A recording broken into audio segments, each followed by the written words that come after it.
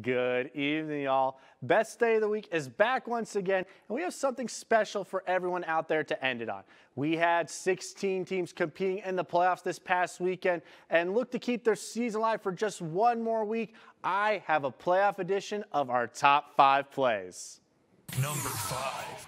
We have Dryden Nelson making laundry easy for the equipment manager as he goes untouched for a second score that would put the game out of reach and lead to a Copper Kings round one dub. Number four.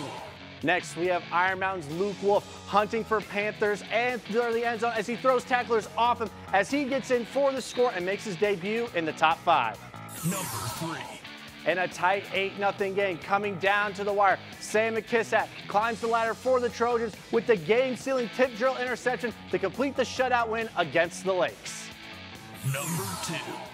At number two, we have Wyatt the Jet Rat returning as he makes the entire Pelsons Horde defense look slow as he goes in for the touchdown en route to a dominant round one win.